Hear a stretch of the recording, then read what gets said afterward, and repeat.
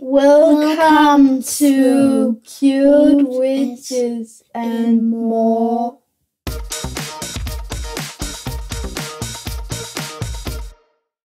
So now that you have been greeted properly by my kids, the thumb down means you don't like them. Careful now. What this episode is about. And by the way, if you are running Windows or Macintosh, you can skip this episode.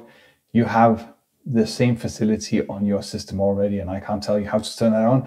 But for Linux people, it started like this. It's a few months ago. My Qt Creator somehow managed to mess up a file that I was working on totally, and I just saved at that time.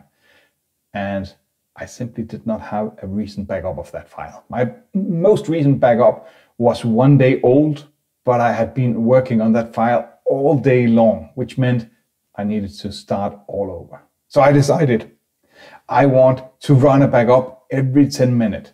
And of course, I don't need user bin backed up every 10 minutes, but a few of my source directories should be backed up every 10 minutes.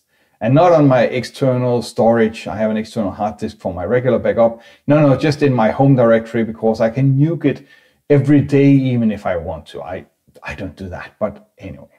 So what I am presenting to you in this episode is a script that will be right on my face now. And in this script, it's really just a simple Python script that does a backup every 10 minutes, I'll put it into a cron tab and the cron tab command looks like this. And both of these you can find in the GitHub where you find everything else for the episodes. That's it.